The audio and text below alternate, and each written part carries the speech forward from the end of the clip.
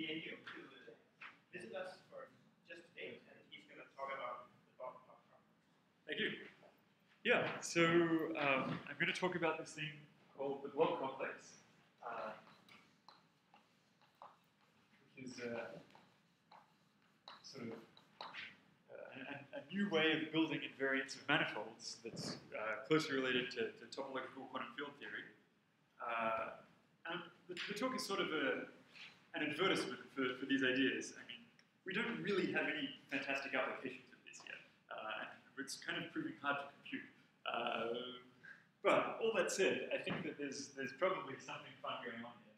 Uh, and so I'm going to tell you a little bit about what it is, how you might go about computing it, and the sorts of things we have in mind for uh, one day proving things. Uh, I'll tell you, there are two papers about it. Uh, big one and uh, a little one. Uh, the, the little one is probably easier to read. Uh, this talk is easier than either. Uh. Okay, so uh, where do we start? Oh, oh, this is all uh, joined with uh, Kevin Walker, who's at Microsoft in. Okay, so it all starts with uh, what are topological quantum field theories. I guess I leave out quantum these days. Uh, are sort of the, the nicest invariants in that in some sense.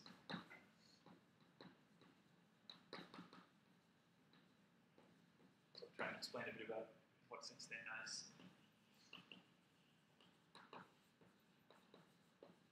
But at the very least, what they should do, well, uh, you've got to specify which dimension you're working in. So let's say an n plus 1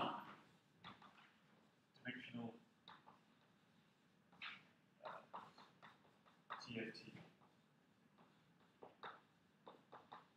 Associates uh, 3K manifold.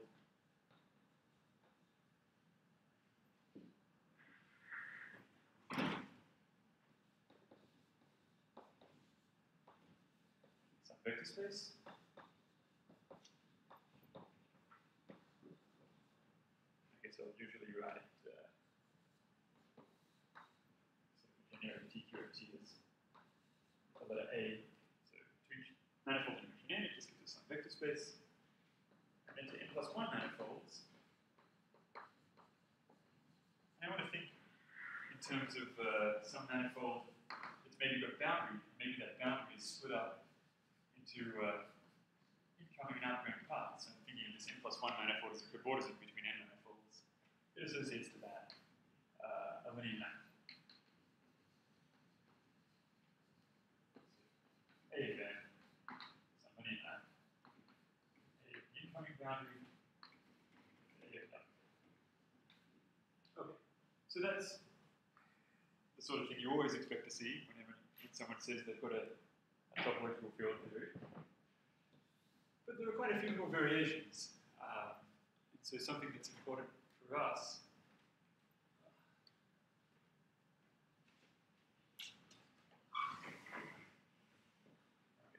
uh, sometimes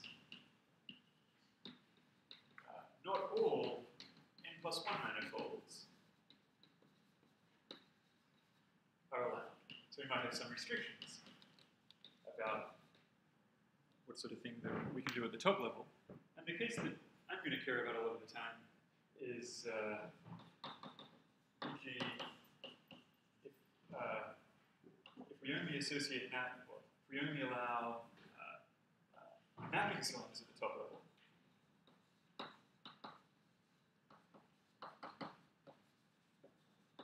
then we call this uh, n plus epsilon to make dimensional TQFT.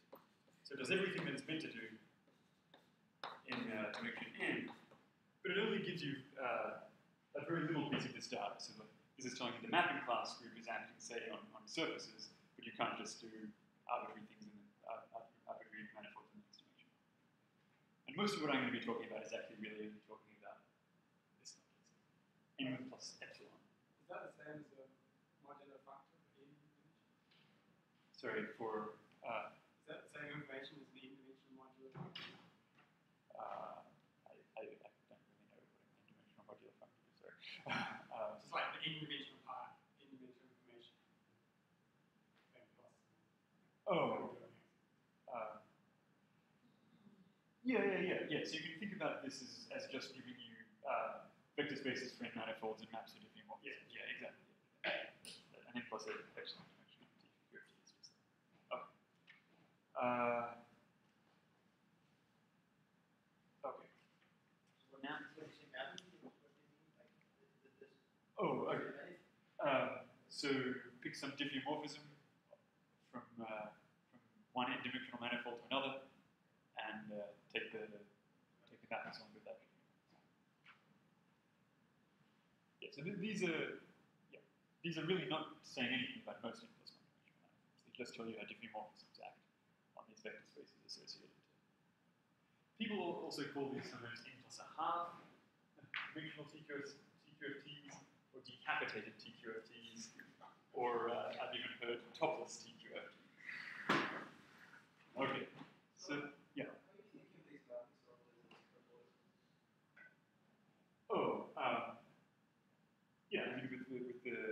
same manifold or diffeomorphic manifolds that, that.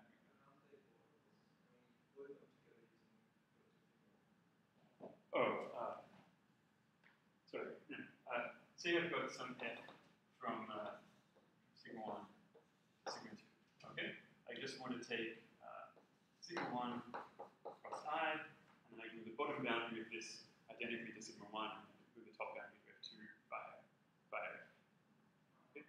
there's two pieces of boundary crossing at the beginning and the end. Did I use the wrong word? Mapping cylinder is the actually that. Yeah, I'm not thinking about Oh, or mapping mapping cylinder. Yeah, so it's got it's got the two bits in there.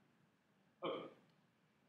Now, the really nice sorts of TQFTs are ones that are called fully extended TQFTs. So, yeah. And the point extended TQFTs is that they uh, also associate a whole lot of data to lower dimensional things. And in particular, they do that in a way that lets you compute by chopping up your manifold. So, uh, fully extended TQFT, let's just say, associates uh, to n minus 1 manifolds uh, categories, n minus 2 manifolds, two categories, and so on all the way down. Zero manifolds.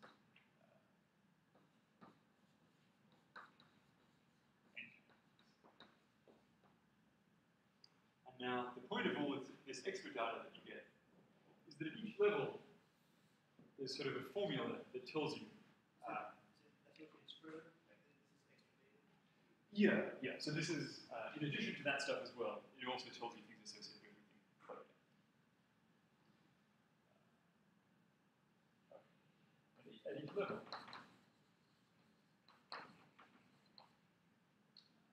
The formula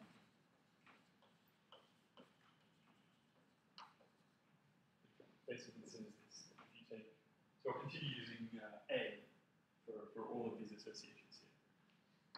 So if you want to compute A of some manifold you're thinking of as a result of gluing two smaller manifolds together, so here I'm thinking of taking M1 and M2 and gluing them together over some manifold of lower dimension. Here, sigma, I can compute this as a sort of uh, some sort of appropriate tensor product.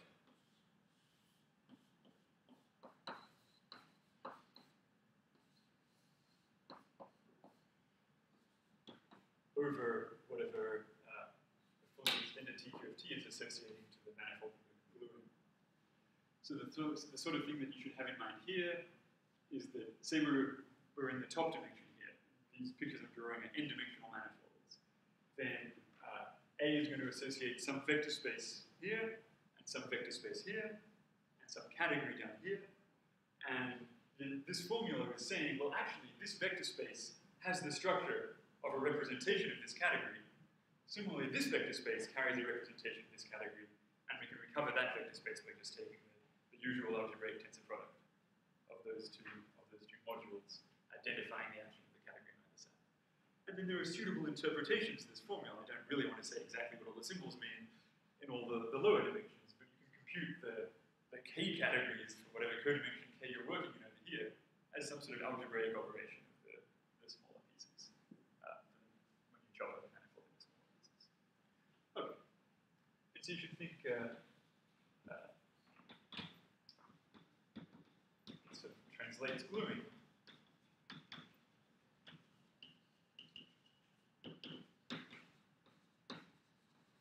into algebraic operations. Now, uh, for example, uh, you, you would expect that uh, the existence of all of this sort of structure lets you compute what the TQFT gives you for, for any manifold, because, for example, you take some handle decomposition of the manifold, recursively apply this formula, and as long as you always understand what these actions are of the of the, the categories associated with the gluing uh, surfaces, the gluing manifolds, you can uh, turn that handle decomposition into some algebraic instructions for building the final vector space. Okay. Uh, so the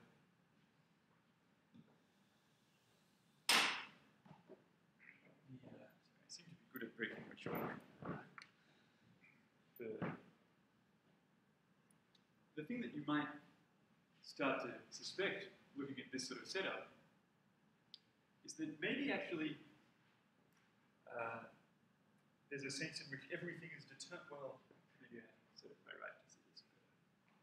But, uh, well, if you think about this some, you, you, you might start to believe that everything here is actually determined by the data that you associate to zero manifolds.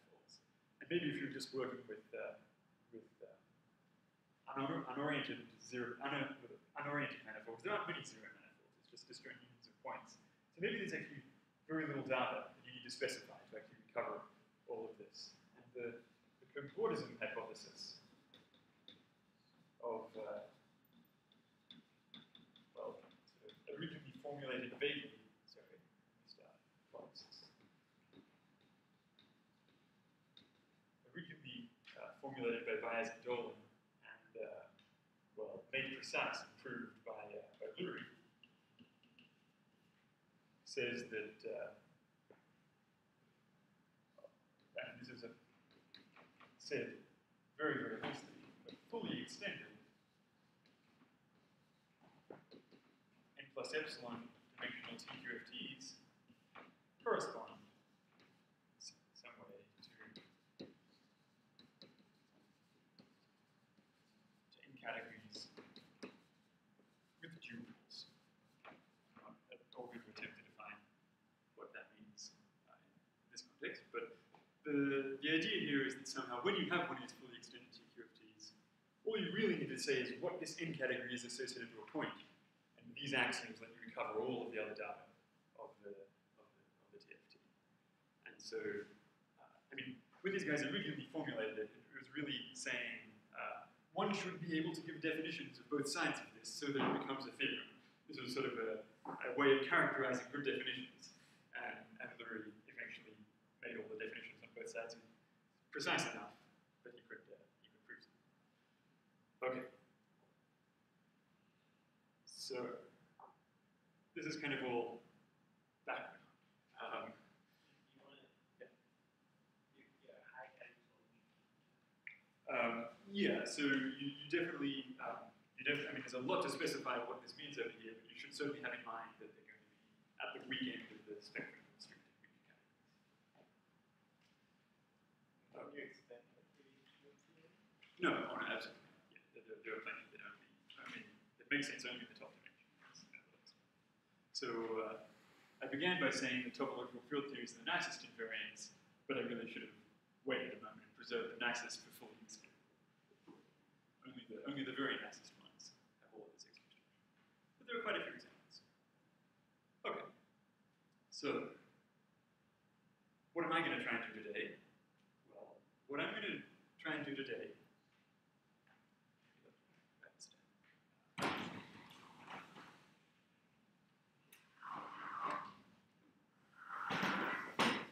So I'm going to tell you in some amount of detail one particular way of filling in what exactly an n category with dual is. I'm going to give you a very sort of topologically motivated definition of what an n category with duals should be.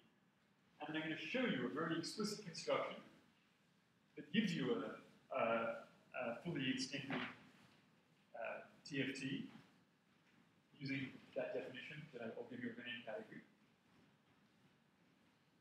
So obviously that, I mean, this is, that's not at all competing with Lou. I'm, I'm not showing you this, this equivalence. I'm just telling you some things that you can put over here that, that give you an arrow going to the left. But then what I'm going to point out is that there's a, the way we set things up, you can do a lot more. And the thing that you can do more, well, let me, let me catch up. So, today. So I'll define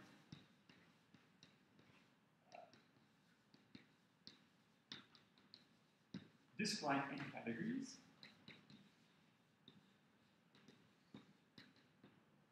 I'll, I'll tell you why they're a good way of thinking about n categories in this sort of context. Uh, show how to construct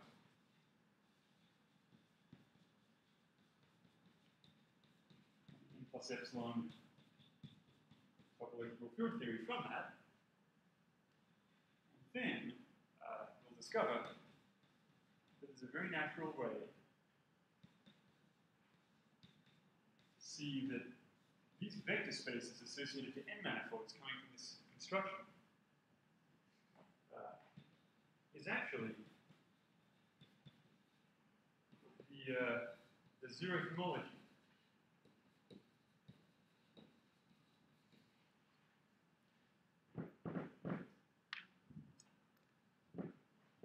Zeroth homology of an actual chain complex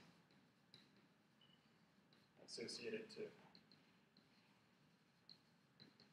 uh, the category that we're working with and the, the manifold. So really somehow all of these invariants that TQFTs give you, there's actually much more structure sitting there. Uh, a lot of the time previously people have been thinking just about the zero homology of this chain complex, but there's all this higher data as well in these chain complexes that you can build. Uh, and this thing, this chain complex is the blob complex. Okay.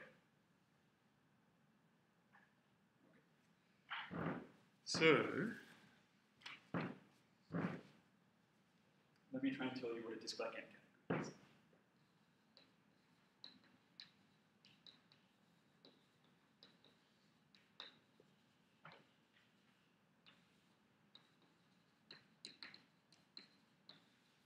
If you actually read the paper, this goes on, this definition goes on for about 20 pages, but it's the essentials of compressible electrical quarter two. So I'm leaving a bunch of stuff out, but the, the, the good bits will appear. Okay. So what is it, first of all? It's a bunch of functors who write C subscript K, and each one of these goes from the category of K-balls. So I'm going to uh, have to tell you what the morphisms and that's just homeomorphisms of K-balls.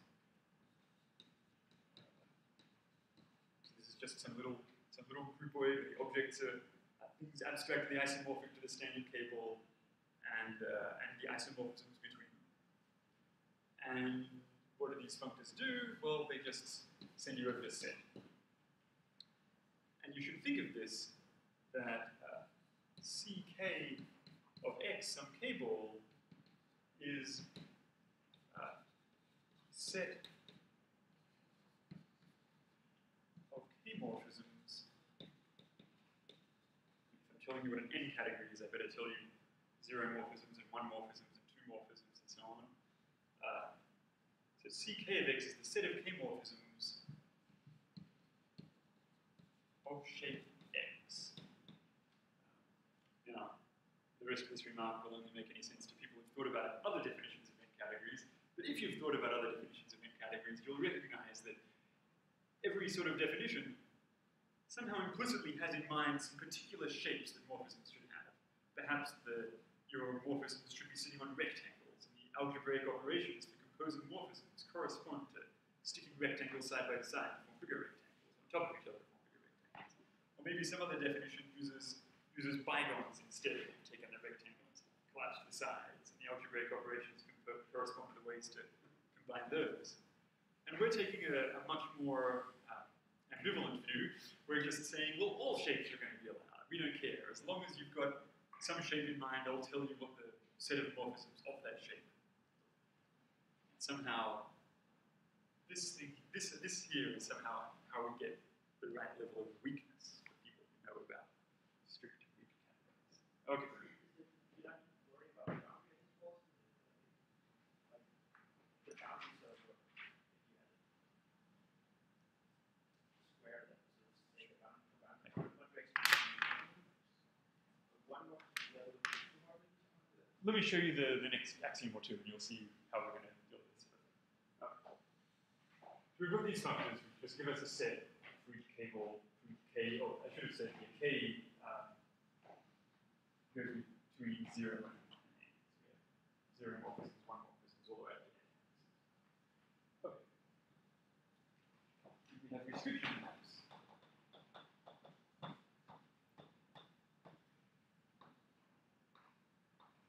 So say that I've got some k-morphism of shape x,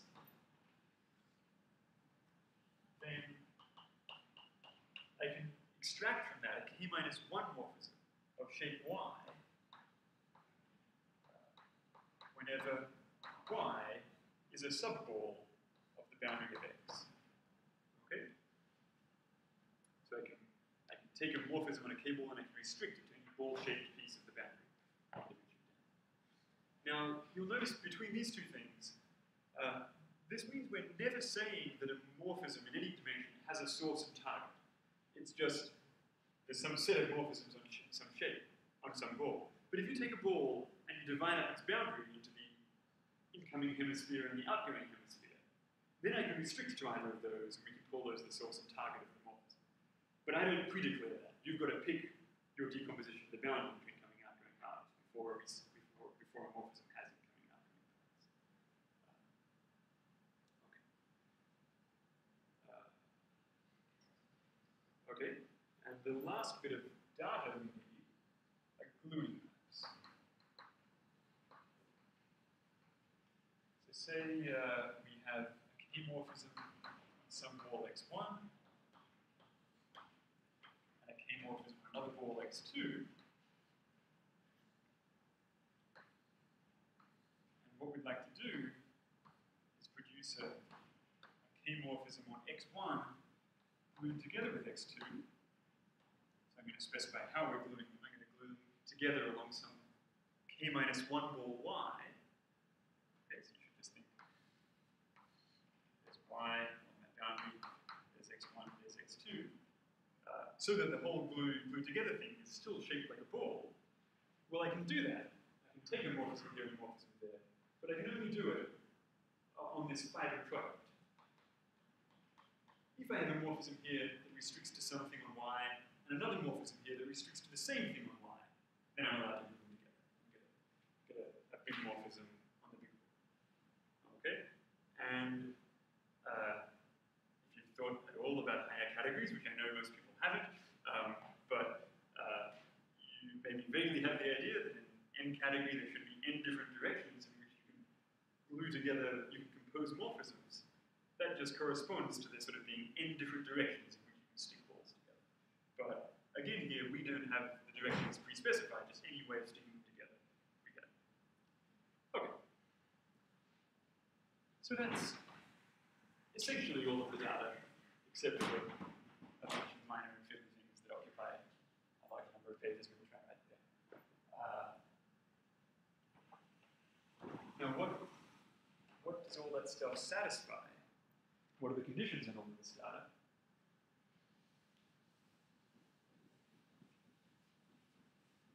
I'll do an example in just a moment. Bit.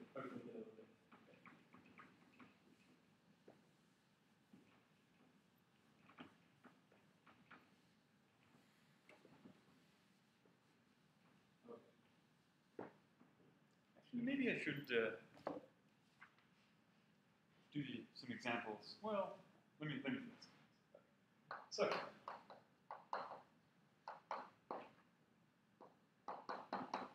at level n, this is so this is the only thing in the whole definition that mentions the top level or dimension of work. Uh, isotopic homeomorphisms.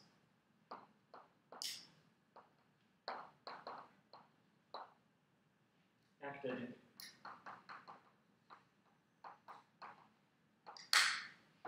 So remember, these functors ck, not only do they associate some set to each k-ball, each homeomorphism of a k-ball gives us some, some, some isomorphism of those sets.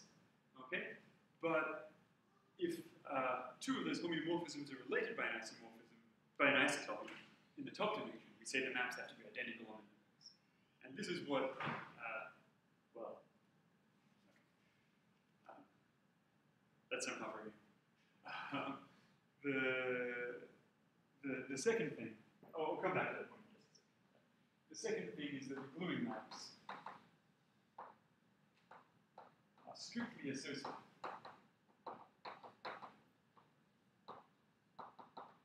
That is, if I build up some k-ball out of a succession of smaller k-balls, it doesn't matter what order I use these gluing maps to assemble the big ball out of many smaller balls. Okay? I can use a bunch of copies of this gluing map to, to build up my big ball, but I get exactly the same function, whichever way I do. it. Okay. So, again, for people who've thought about higher categories before, this sounds very strange at first because you might be used to the idea that strict n categories aren't very useful and they're the wrong sort of notion to care about. Surely I'm, I'm ending up in the wrong ballpark. I'm saying I would ask for strict associativity here. So let me just show you that in fact these are these are weak uh, these are weak categories. So let's say um, let's look at uh, at C1 of the standard make you sure it's the standard interval. Subset of the real line, zero to one. Okay. Uh, and let's ask: Is there a composition operation on this set? That is there is there a multiplication on this on this set? Well, no. To obtain a, to obtain a composition,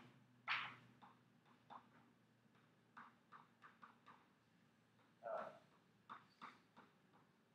we need to pick uh, a I've been away from Australia for so long. Do you spell reparameterization here with an S or a Z? yes? Okay. Um, I think before I left Australia, I never used the word reparameterization. so I won't be, yeah. Okay, so you need to pick a reparameterization the interval glued to itself end to end back to back to the, your favorite standard interval. Okay? And now if you pick that, we get a multiplication map on uh, C1 of our favorite interval. Well, we use the gluing map to assemble a pair of morphisms into a morphism on this bigger interval. And then we use this homeomorphism of a long interval to a shorter interval to get back to the original, to the, to the original set that we're. But of course, there's no reason here why this operation of define needs to be associated. Uh, and it's just because these reparameterizations won't, uh, won't be associated.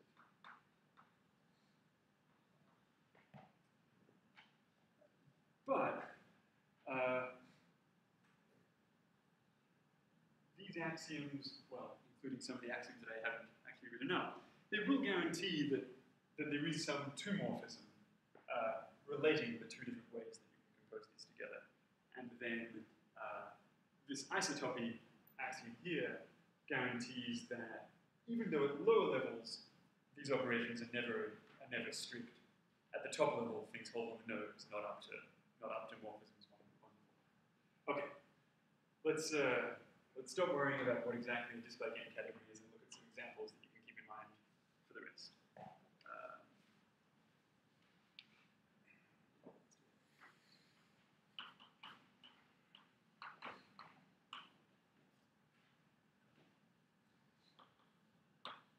So let's define uh, these functors for k strictly less than n,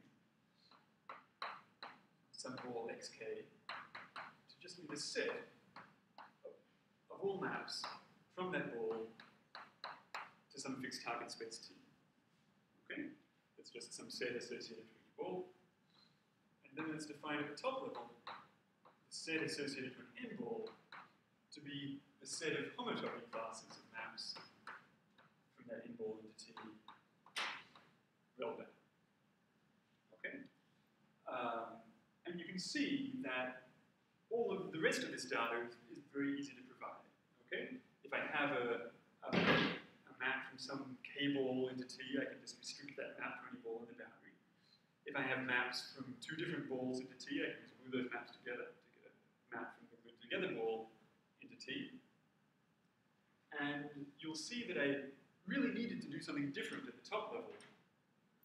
Take homotopy classes, not just uh, not just the, the whole set of maps, because otherwise I couldn't get this condition here called uh, isotopic homeomorphisms needed that identity that move one map to a different isotopic map. Uh, but because we class down to homotopy classes, we can get this. Okay. Um, let me. I think I'm going to want to come back and. Uh, well, okay. I'll, I'll give you some more examples in a moment. Um, but keep that one in mind because it's somehow a, an easy and also surprisingly universal example.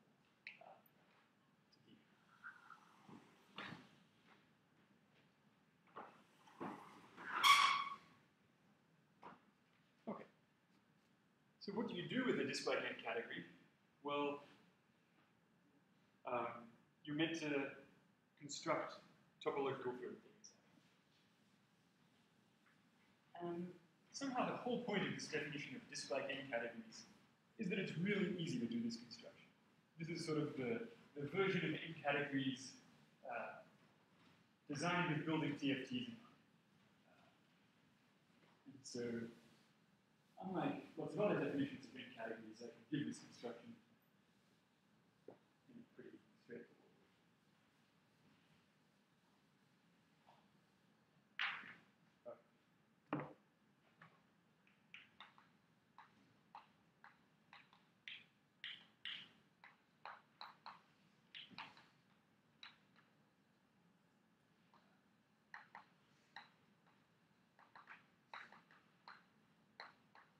So we were going to straight away get an n plus epsilon dimensional TFT.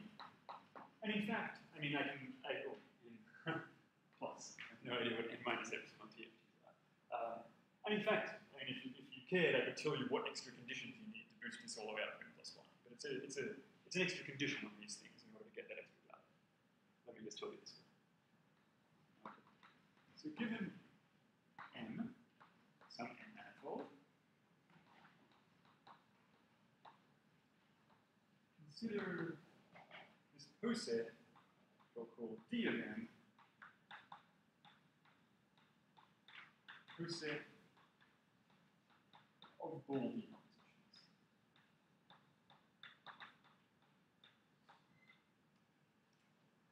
Sure. I'll show you a picture of. it. It's unfortunately a little hard. The, the technical, there are some yucky technical details in here. And if you want to work in the smooth category, good luck to you. I'd love to hear about how to do this in the smooth category. So if you care about those sort of details, think PL, not smooth for a while. Okay. So what is this? Well, roughly you're just going to think that it's all the ways of taking your manifold n and chopping it up into pieces, each of which is just a ball, and such that there's a way of gluing the balls together so that you're a manifold all the way along, all, all the way along. Okay? Uh, I could show you.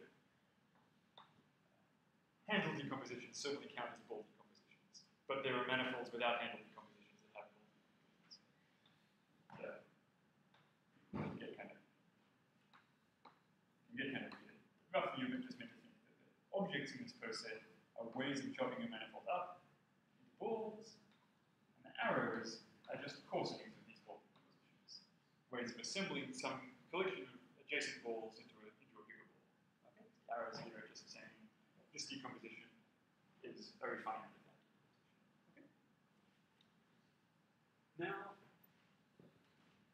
Uh, an A category C gives us a functor uh, from this poset into set. So I need to that means I need to tell you for each picture here some set and some map for each arrow in this poset. So what is it? Well, C some decomposition of M is just a big product over um, sort of balls in the decomposition of Cn of that ball. Okay, so just all I'm saying is for each ball in this decomposition, pick an element of the set that C associates with that ball. But you don't really want to take the entire product here. You just want to take a finite product, says that whenever any of these any of these two balls are adjacent, you can restrict the n-morphism that you wrote here and the n-morphism you wrote here to the common interface and get the same n minus one. You actually have to go all the way down and talk about restrictions all the way down the sort of the, the skeleton, mean, all the way down the, the, the sort of stratification that, that sort of you get from here. Okay, but roughly it's you stick an n-morphism on each ball. Okay. Now, what are the maps? Well, given a coarsening of a ball decomposition, I need to give you a map between these sets. And of course, the gluing maps, which have been erased by now, provide you with exactly that. Okay, they tell you when you want to glue two balls together, a map taking morphisms in each of the balls to morphism. So that's the that's this functor. Now, uh, the uh, the set A of m. Maybe I'll start. I did this before, but I'll write now m semicolon c. So this is sort of A is sort of like the, the TQFT pairing that takes a manifold and an n category and spits out something. So this is now just a colimit along uh, this poset D of n of this functor. I'll spell out exactly what that means in a second. But that's the answer. And that's what the TQFT associates to, to any n manifold. Uh, I guess I was always saying earlier that we should get vector spaces, and this is really only just a set, but you can go back and talk about categories in vector spaces. Can put vector space structures in the way along. It doesn't really change very much. So don't worry about that discrepancy. So what is this colimit? Well, another way of saying this is just that this set here is just all the ways of taking, uh, let me draw something that looks a bit more like a manifold, all the ways of chopping up a manifold into balls, labeling each ball by some n-morphism from the n category, uh, modulo the condition that, um, well, let's just say identifying refinements. So if I have some, some picture here, and another picture which I obtained from it by gluing a few of the balls together and gluing together the labels, I just declare this to be the same. Okay. That, this is all that colimit means. Now, at first, you might worry that this is an obscenely, uh, just an, an obscene description of, a, of, of producing some set or, or, or some vector space, because we've taken this giant union over all the different points in this poset. I mean, every different ball decomposition we're considering here in the definition. And so the prospect of ever getting out finite dimensional vector spaces at the end of the day seems pretty unlikely. But you do in many cases, uh, even though from the definition it's, it's a little hard to see. A very nice thing about this definition is that it's also immediately obvious how diffeomorphisms act. Here's some set, these pictures modulo identifying refinements that are associated to M. Now say I've got some diffeomorphism of M. How do I get a map from this set to the to set to itself? All I do is just move around all of these pictures by the by the diffeomorphism. Okay, so it's it's, it's sort of obviously functorial.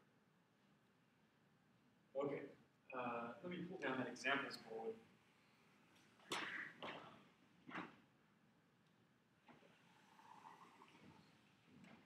Just add two more things, three more things. So, um, the, well, this is sort of just a, the examples I'm going to add here aren't really intended to help you think about good examples, but just to promise that this construction here really matches up with what everyone usually says when they talk about TFTs. So if C is a uh, pivotal tensor category, whatever that is, uh, we can convert it uh, to a, a disk-like two category. I think our paper actually has an, an appendix in which that is sketched, if not uh, explained, if not done in great detail. But you can pivotal tensor categories uh, are instances of disk-like two categories. And then this vector space that you get for a surface, this pivotal tensor category, Turaev-Viro vector space. that surface. So if you know what Turaev-Viro theory is, you can recover all of that as the n equals 2 case of the set. Uh, similarly, C is a, a modular tensor category. We can, think of a modular tensor category as actually being a certain type of disk-like 3 category. And then this vector space that we build for a 3 manifold is the uh, is the Reshetikhin-Turaev invariant. Well, it's a little confusing thing here. It's the Reshetikhin-Turaev invariant of the boundary event. Reshetikhin-Turaev theory, if you know about it, usually associates vector spaces to surfaces and numbers to three manifolds. And so there's sort of a dimension shift going on uh, to relate it back to, to unscripted things. Okay. But these fantastic examples of TFTs definitely fit in this room. Okay, so what then is the blob complex? I guess that's where we are now. Yeah. So, well, let me just briefly talk about one more example that, could go there. Um, so there was one in, uh, first example in arbitrary dimension, then uh, examples in dimensions two and three. We also know an example in dimension four. Uh, there, are, there are lots of invariants in four manifolds, but none of them exactly fit the, the, the TFT framework. Lots of them have sort of, well, they look appealingly close to TFT things, but, but you can't really shoehorn them into the, into the, the NASA stats one. That we do know about is that you can build a disk-like four category out of this thing called Khovanov homology, which is this categorical link variant. Um, and you can build an honest disk-like four category out of it. Maybe you have to work in characteristic two to get over some yucky technical details, but there's a, there's a four category. And so this machinery gives you, well, vector spaces for four manifolds. Uh, just following those through here. And uh, we would really, really love to be able to compute those vector spaces that Khovanov homology is telling us, and we can't. And the whole motivation for what comes next, the, the blob complex uh, version of this, is that there's some reason to think that it's sort of, it's actually more computable uh, than, uh, than what I've described so far. Okay. So, so, so Yeah. this like uh, category just gives you just the n plus e. Then plus epsilon. No bar. extended, no lower. Ah, okay. Uh, I haven't told you how to do it, but it also gives you all the lower stuff in an almost trivial way. Um, So then you now know what the zero, the category associated to zero manifold for Rashidika Drake. absolutely, but remember there's this funny dimension shift. So the problem is if you want to think of Reshetikhin-Turaev the usual way, that is numbers for three manifold, vector spaces for two manifolds, and the question you were trying to answer is what do you associate to a point, which everyone would love to know. This story tells you that, doesn't tell you what the answer is, because the point isn't the boundary of any one manifold. And so, I mean, in my view, this is the proof that that's the wrong question that we're trying to derive. The point isn't the boundary of one manifold, so you shouldn't be looking for anything associated with a point. Uh, anyway, okay. Uh, why did you say quantum on something four dimensional? Um, yeah. Um,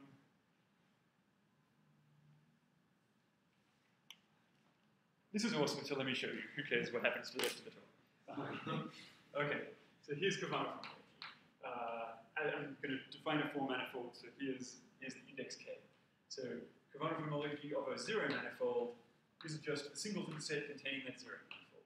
Khovanov homology of a one manifold is the singleton set containing that one manifold. Cavana homology of a two disk, sorry, I said manifold, but I meant ball, zero ball, one ball, two ball, is the set of finite subsets of that ball. Okay? KH3, well, is a three ball. Um, what I'm going to do is tell you the set associated to a three ball with boundary decorated by, by two morphisms. Okay? This is just the set of, uh, of all embedded tangles with that specified boundary. Not up to isotopy, no nothing, just all the embedded tangles. And KH4, so now I'm going to tell you something associated to a four ball, and again I'm going to tell you what I associate to a four ball with a boundary decorated by three morphisms. So that if you decorate the boundary of a four ball locally with tangles, that's just saying you you've drawn a link on the boundary. This is just the Khovanov homology vector space of that L. Okay? Now I claim that all the other structures there in a nice canonical way, we can glue these vector spaces together using the fact that Khovanov homology gives you maps associated to coordinate to link coordinates. And that lets you build all the gluing maps. Um, there's a there's a horrible subtlety about B3 versus S3, which forces you to work in characteristic 2. Can't do the uh, integers, or at least we don't know how to do it integers, but um, well, this link notice really honestly lives in S3. The usual version of Khovanov homology is about links in B3, and there's a difference. Uh, getting over the difference requires more too. But that's the four category. Boy, would I love to know the invariance of, of some four manifolds that this machinery spits out. Okay, so in order to answer exactly that question, we start thinking about the blob complex. Well, the blob complex is actually not much different from what I've told you before. We just replace colimits with homotopy colimits. Now, this is an extremely slick way to say what the blob complex is, but also completely useless to me and probably many people in the audience, because what's a homotopy meant to be? Okay. So let me show you a very explicit model of this homotopy colimit. So just the definition from two boards ago, put HO in front. We've got something you get. Okay. So what is this? Chain in the blob complex. So this right hand side now is going to be some vector, uh, some chain complex associated to any n manifold, n manifold m. Uh, what is it? Well, it consists of k, uh, k different balls. We're, we're, talk, we're working in dimension n here. Uh, confusing when k is the same index as we used for lower dimensional manifolds before. So k balls, k n-dimensional balls, which I'm going to call blobs from now on to distinguish them from all the other balls in this uh, in this story. So k blobs in the manifold M, which are pairwise, nested or disjoint.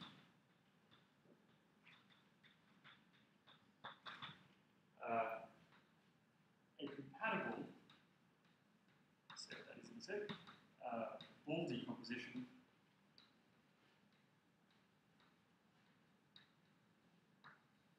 of M. So this is just saying chop M up into lots of little balls. Each of those balls should be pairwise nested or disjoint with one of the with, with each of the blobs. You can't have blobs and balls sitting across each other. Okay. Uh,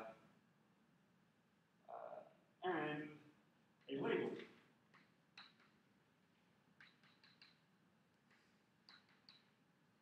Of the balls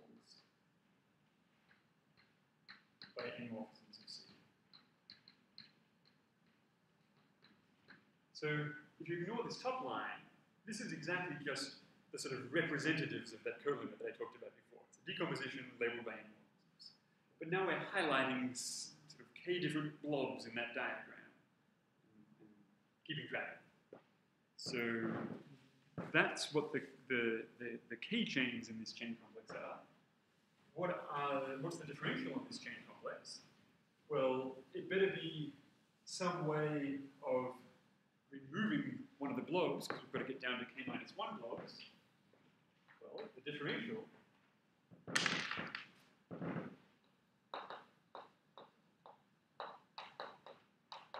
is a, a sum, the sine sum, over two different things you could do. One is just ways to forget a blob. Keep all the data, leave out of the blobs. Or ways to forget an innermost blob. So remember the blobs are pairwise nested or disjoint, and an innermost blob is just one that has no further blobs inside it. Forget an innermost blob and glue up its contents. Hopefully a picture will explain it. So, X, Y, Z, U, V. Color here. So here's a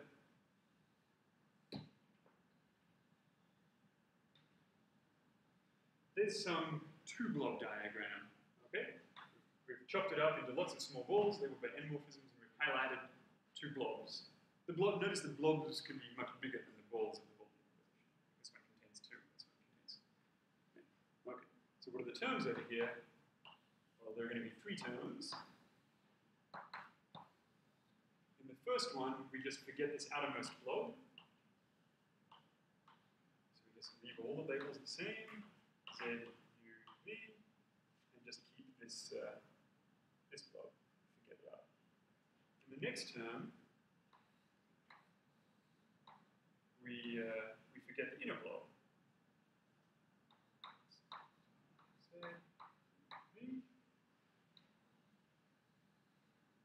And finally, the last term,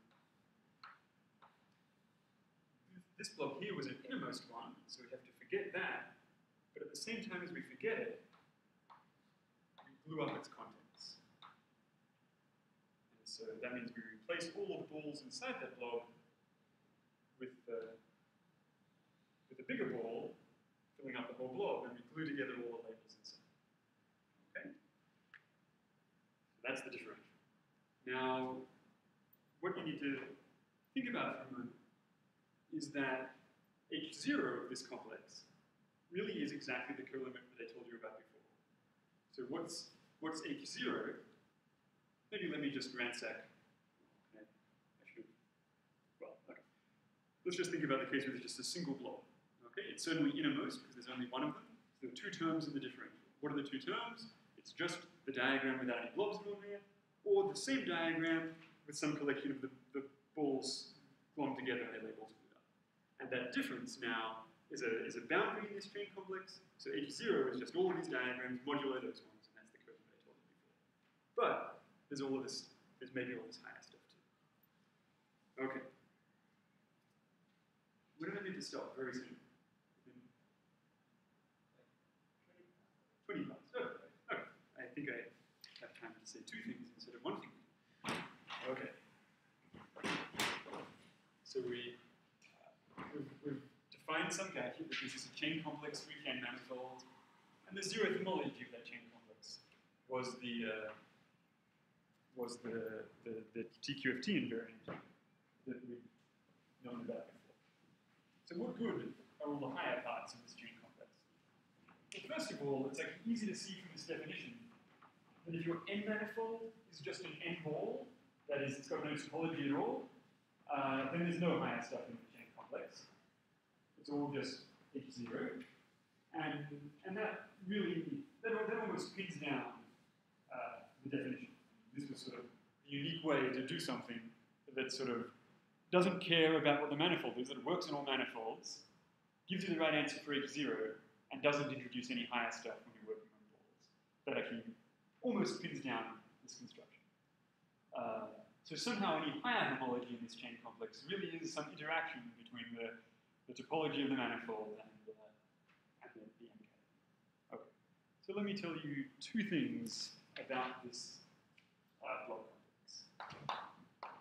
So the first one is that families of diffeomorphisms act.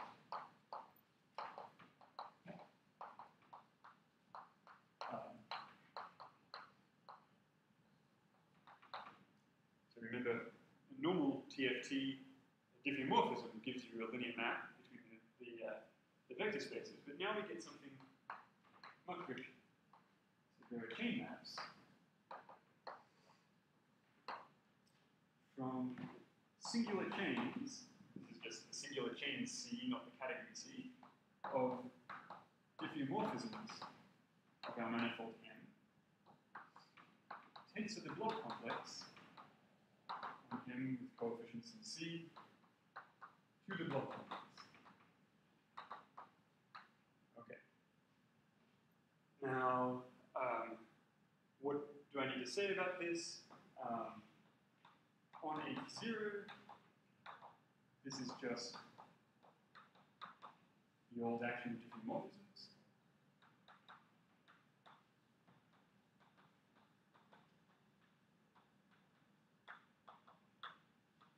And, it, and it, notice that it, you see right away that isotopic diffeomorphisms act identically on H0 because isotopic diffeomorphisms are, are, are connected, I mean, are homotopic to, other, this, to each other in this chain complex. Uh, okay, so, so on H0 it's just what you knew about before, uh, and it's compatible uh, gluing,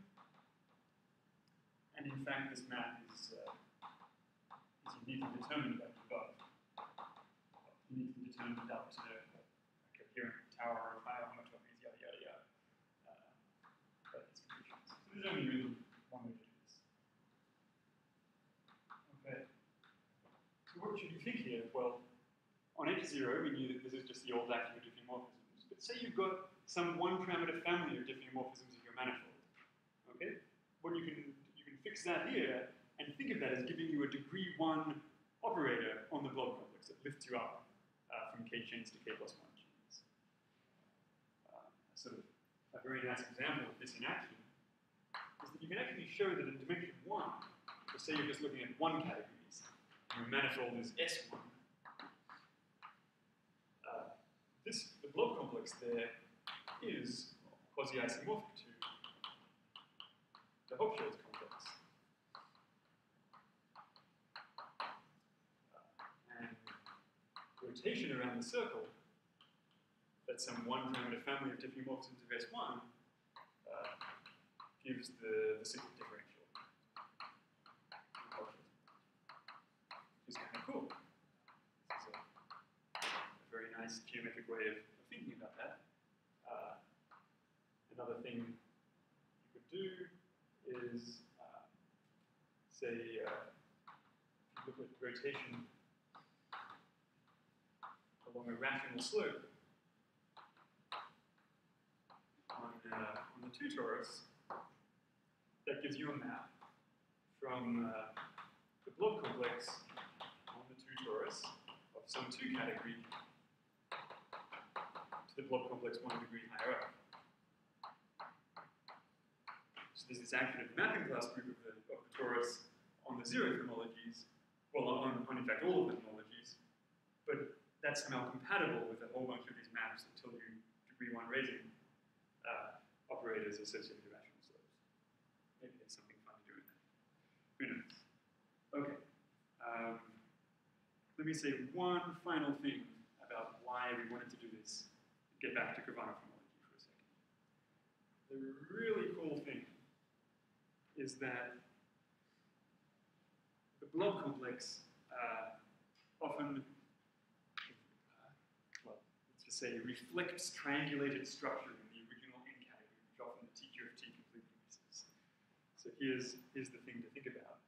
So uh, So in Khovanov homology, there's an exact triangle.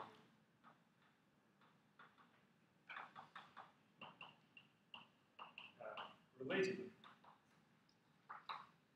Khovanov homologies uh, of links in the boundary of, of B4. Uh, so what is this? Well, you can take the Khovanov homology of some link the boundary of B4, and you can actually compute that Khovanov homology by looking at the Khovanov homology of two different resolutions of some crossing. Pick your favorite crossing, two different resolutions. And it turns out Khovanov homology gives you a vector space here, a vector space here, or a chain complex here, a chain complex here, and a, and a chain map between them. And this chain map here is, is the cone of, of that map. Okay? And this is in practice how you compute Khovanov homology of links. Now, this exact triangle only works sort of in B4. If you try and think about uh, links in the boundary of other four manifolds using the, the, the TFT prescription, this exact triangle just fails, essentially because colimits don't preserve exact things. Okay? But uh, the, the blob complex does, and it's not exact well. I have to draw a kind of complicated picture. Maybe I'm going to try and draw it right here. Um, but essentially, when you look at the blob complex version of, uh, of the four manifold invariant from homology, you, you do have some structure coming from this exact triangle. It ends up being a little complicated. It's Some spectral sequence converging to zero, the first page of which is yada yada yada. But in principle, it, it might give you ways of computing the entire blob complex Khovanov invariant of a four manifold. Uh, and that might be the, the best way just to compute the H0 bit, which was that, that TQFT invariant of, a four manifolds that we were hoping to, to get to in the first place. But this sort of thing, the fact that, that exact triangles in the original N category end up being reflected in the blob complex version where they, where they vanish in the original TFT invariant was sort of the reason why we started thinking about this all in the first place. I'll stop there. Questions?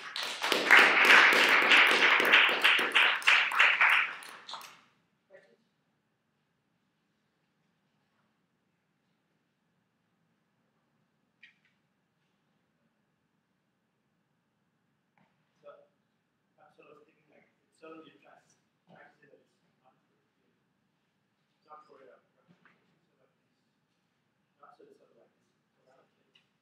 Uh, you, you, So, uh, maybe, well, I think maybe, like, I think I know what you're going to ask.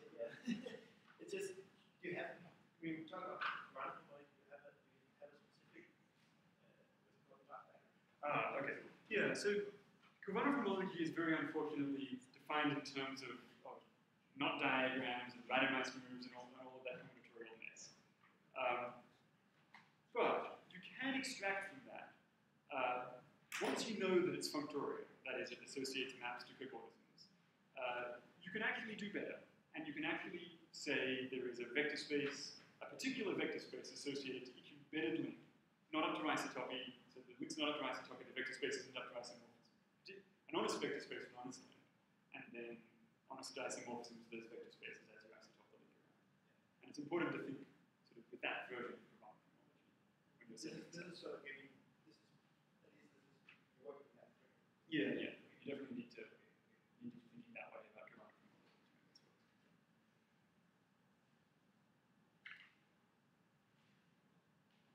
Oh, I see. Uh, One thing I didn't quite understand that sort of previous stuff in the previous book was that you mentioned that the- for your kind of category machine, you have like N category with duals. Yeah. I can't see. Where, where the duals are in this? Yeah, yeah, because usually in the TFT you've got to you're pairing the things, whatever they are, they've got to, like, the N category should give somewhere in the N minus one category. Well, so, So the, I think the, the way to see where the duals are in this picture is just that um, we're meant to have a functor from for each k from k balls into sets, and in particular, there's a homeomorphism of a, of a that I mean the, rotations of the ball are all homeomorphisms. They don't fix the boundary, but they, they, they, still have maps associated to those. So if you pick some element of a of the k-morphisms with shape x, there's an operation corresponding to turning the ball upside down I mean, in, many different ways depending on the dimension k, and those are all the duality operations morphisms. So it's those rotations of the balls that give you the. And I think, I mean, you were sort of asking about duality slightly, I you were thinking about Yeah, no, duality in I a slightly different way, but I think, I think that that's, yeah. Good, I I just want, so sidetrack, this is, this sub triangular mechanics under. Well, I mean, the, the, the triangulated category is, is just um, is just sort of chain complexes uh, and, and functions. So did what was the shift? Oh, um, so where's the shift? Um, oh, yeah, th- th- th- th- there's a shift along here. I mean, this is the yeah. I mean, the, the, the, the yes, the shift is on area. Yeah, I homology gives you not just a vector space for the